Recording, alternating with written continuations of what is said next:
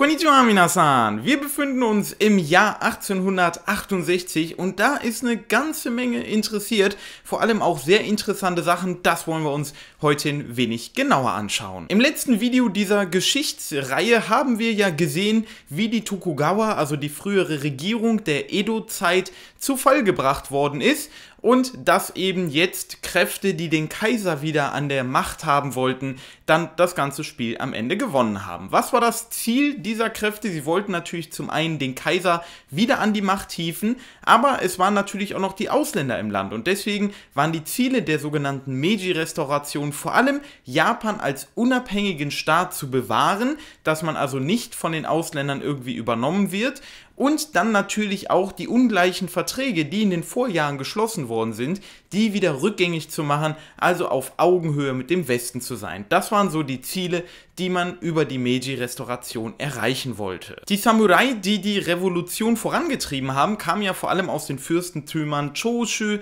Satsuma und Tossa dann eben auch. Und aus diesen drei Fürstentümen haben sich dann auch junge Leute, so um die 30 waren die, hervorgetan, die dann darüber diskutiert haben, okay, wie machen wir das jetzt mit der Regierung?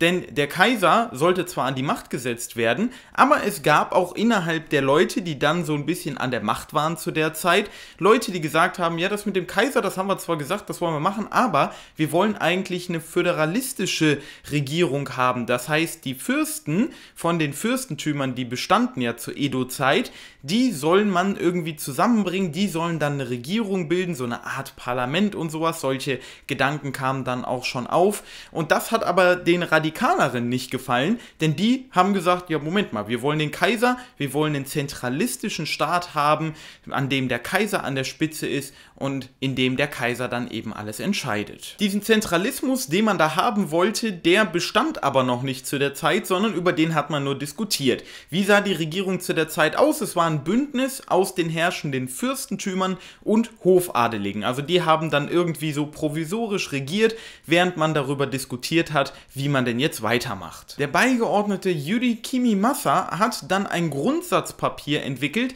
mit fünf Punkten und die möchte ich euch jetzt mal vorlesen. Der erste Punkt war Berücksichtigung des Volkwillens, der zweite Einheit von Elite und Volk, dritte weltweite Suche nach Wissen als Grundlage des Kaisertums, viertens Befristung der Amtszeiten für aus den Fürstentümern entsandte kaiserliche Räte und fünftens Entscheidungen über alle Angelegenheiten auf der Grundlage öffentlicher statt privater Diskussion. Er gehörte jetzt natürlich ein bisschen zu den Leuten, die so eine Art Föderalismus haben wollten, deswegen sieht man hier auch schon so erste demokratische Ansätze dann natürlich, eine öffentliche Diskussion von Fürsten, die sollen dann darüber entscheiden, wie es weitergehen. Da steht, steckt auch die Idee des Parlaments dann so ein bisschen drin und er hat dieses Grundsatzpapier eben dann vorgelegt, aber man konnte sich nicht darauf einigen, weil den radikaleren Kräften das natürlich so nicht gefallen hat. Da war denen zu wenig drin, der Kaiser ist an der Spitze und so, das wollten die eben mehr haben. Das wurde dann ein bisschen weiterentwickelt und es gab dann noch andere Beigeordnete, die da eben zum Regierungskreis gehörten, die das ein bisschen verfeinert haben, die dann gesagt haben, wir brauchen eine Konferenz von Fürsten, also die auch einen Föderalismus haben wollten. Aber zu dieser Zeit, in der wir uns befinden, also Ende des 19. Jahrhunderts, da war dieser Föderalismus nicht mehr ganz so modern, weil man hat in Deutschland zum Beispiel gesehen, ah, das funktioniert da gerade nicht so gut und hat sich dann eher an Frankreich orientiert und zu der Zeit war Napoleon III. an der Macht und das war auch ein zentralistischer Staat zu dem Zeitpunkt Frankreich und da haben die Japaner dann gesagt, okay, wir müssen uns vielleicht doch ein bisschen eher an Frankreich orientieren, bei denen scheint gerade gut zu laufen und deswegen war der Zentralismus zu der Zeit in Japan ein wenig moderner oder es wurde halt als besser betrachtet zu dieser Zeit. Man war also auf der Suche nach einem Konsens, zu dem alle Parteien zustimmen konnte, damit man die Regierung in Japan regeln konnte. Und da gibt es dann den sogenannten kaiserlichen Eid, der aus fünf Artikeln besteht. Und ihr merkt wahrscheinlich schon, okay, fünf Artikel, da hatten wir ja eben auch fünf Artikel in diesem Grundsatzpapier und das ist es eben auch. Das wurde immer weiterentwickelt dann, bis man eine Version gefunden hat, mit der alle zufrieden waren. Und dieser fünf Artikel Eid, der wurde dann am 6. April 1868 vom Kaiser auch so verkündigt und damit wollte man dann eben regieren. Den möchte ich euch, also die finale Version, möchte ich euch auch nochmal vorlesen. Da haben wir in Artikel 1, wir wollen eine Konferenz aus nah und fern einberufen und alle politisch bedeutsamen Angelegenheiten in öffentlicher Erörterung beschließen. Zweitens, Obrigkeit und Untertan sollen einmütig sein und die Staatsgeschäfte für alle gedeihlich führen. Drittens, es ist nötig, vom Hof- und Kriegeradel bis hin zum gemeinen Volk alle gleichermaßen ihre Lebensziele verfolgen zu lassen, die allgemeine Zufriedenheit zu steigern und sie nicht verzagen zu lassen. Viertens, die althergebrachten engen Gebräuche wollen wir zerstören und uns stattdessen auf den offenbaren Weg von Himmel und Erde stützen. Fünftens, wir wollen Wissen in der Welt suchen und damit die Grundlage des Kaisertums beträchtlich stärken. Wie ihr euch jetzt wahrscheinlich schon gedacht habt, ist das Ganze relativ interpretierungsfähig. Und genau weil es eben so viele Interpretationen dann zu diesen fünf Artikeln gab, und da gab es auch verschiedene Intellektuelle, die dann da gesagt haben, ja, das muss so interpretiert werden, die anderen haben gesagt, das muss so interpretiert werden, hat man sich eben darauf einigen können, weil jeder hat das aus diesen fünf Artikeln rausgelesen, was er gerne haben wollte. Aber die Grundidee war von den radikaleren Kräften eben, mit diesen fünf Artikeln die so auszulegen, dass der Kaiser also wieder an die Macht gesetzt wird. Das hat dann nicht immer ganz so geklappt, denn ein paar Jahre später, so in den 1880ern dann zum Beispiel, ist aus dieser Konferenz, die wir im ersten Artikel haben, dann eben die Idee des Parlaments zum Beispiel abgeleitet worden und so, da werden wir dann auch noch zu kommen. Also es hat nicht immer ganz so geklappt, wie die sich das ursprünglich eigentlich vorgestellt hatten, aber diese fünf Artikel wurden dann erstmal vom Kaiser verkündet und der Kaiser wurde dann auch mit der Idee eines zentralistischen Staats ganz oben als Staatsoberhaupt erstmal hingesetzt. Das wurde dann am 6. April, wie eben schon gesagt, besiegelt. In einer feierlichen shintoistischen Zeremonie hat der Kaiser diese fünf Artikel verlesen und damit war das erstmal so grundgesetzt und es war klar, wir wollen dann eben so regieren. Am 17. Juni hat man dann zudem noch eine Verfassung beschlossen mit folgendem Grundsatz und zwar die Gewalt im Reiche fällt gänzlich an die kaiserliche Kanzlei Kanzlei zurück. Also da war jetzt ganz klar dann drin geschrieben, ne, Kaiser hat die Macht, der macht alles. Wenn man sich aber mal wirklich anguckt, wie wurde denn regiert zu dieser Zeit dann, der Kaiser hatte eigentlich gar nicht so viel zu sagen, was vor allem auch daran lag, weil er noch sehr jung war. Es war ein sehr junger Kaiser der noch nicht mal volljährig war zu dem Zeitpunkt. Das heißt, die Leute, die eigentlich unter dem Kaiser waren, seine Berater und die Beamten und so,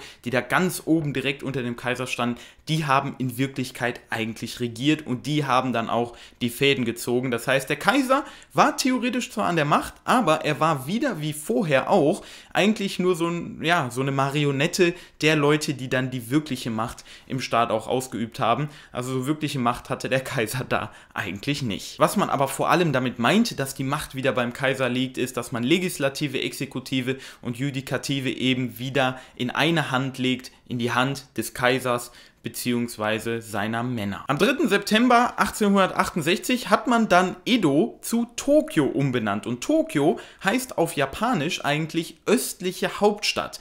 Das hat man gemacht, weil eben die Tokugawa, also die Regierung, bevor diese ganze Revolution stattfand, weil die in Tokio eben gesessen haben oder früher hat man es eben Edo genannt und die Anhänger von denen waren in Edo natürlich auch noch vorhanden. Und da wusste man dann nicht so ganz, ah okay, wenn wir jetzt hier in Kyoto bleiben, was ist da mit den Leuten in Tokio? Kommen die da klar? Werden die uns vielleicht gefährlich und deswegen hat man denen den Gefallen getan und gesagt, okay, der Kaiser zieht um nach Tokio, was er dann auch gemacht hat im darauf folgenden Jahr und man hat die Bürger da versucht mit so ein bisschen Alkohol zu besänftigen, hat ein Riesenfest geschmissen, hat den Alkohol gegeben und dadurch eben das Bündnis zwischen der neuen Regierung und dann den Leuten, die in Edo wohnen, dem Volk, hat man damit dann auch geschlossen. Am 23. Oktober 1868 dann hat man auch das Meiji-Zeitalter ausgerufen, hat also gesagt, okay, ab jetzt, ab diesem Jahr schreiben wir nun das Meiji-Zeitalter und hat sich darauf festgelegt, dass das Zeitalter pro Kaiser immer gewechselt wird. Also wenn ein Kaiser stirbt, dann beginnt ein neues Zeitalter. Das hat man zu dieser Zeit auch festgelegt, ist also noch gar nicht so lange her. Ich meine, kann man ja auch sehen, zur Edo-Zeit, das ist ja eine relativ lange Periode gewesen, von ungefähr paar, ne, 200 Jahren, ein bisschen mehr noch. Und während dieser Zeit sind Kaiser natürlich gestorben, die Kaiser haben gewechselt, aber ab der Meiji-Zeit hat man sich dann darauf geeinigt, dass pro Kaiser es eine Zeit gibt oder ein Zeitalter. Das haben wir auch letztes Jahr gesehen, denn letztes Jahr hat der Kaiser ja gewechselt und deswegen ist jetzt das Dewa Ni, sagt man, Dewa Ni nennen, also zweites Jahr von Dewa sozusagen, da zählen die Japaner mit dieser Zählweise auch immer noch. Das hat man dann also festgelegt. Das ist auch alles, was wir im heutigen Video besprechen wollen. Also das Jahr 1868 war ein sehr entscheidendes und bedeutendes Jahr für Japan. Die Revolution war dann vorbei, das Tokugawa Bakufu war gestürzt, hatte keine Macht mehr in Japan und man hat den Kaiser also wieder an die Spitze gesetzt, war also jetzt bereit, Japan zu reformieren und sich auf den technologischen Stand des Westens zu begeben. Und da werden wir dann beim nächsten Mal auch weitermachen, wie genau diese Reformation in Japan denn dann aussah und wer vielleicht auch so ein bisschen dran glauben musste, wer Privilegien verloren hat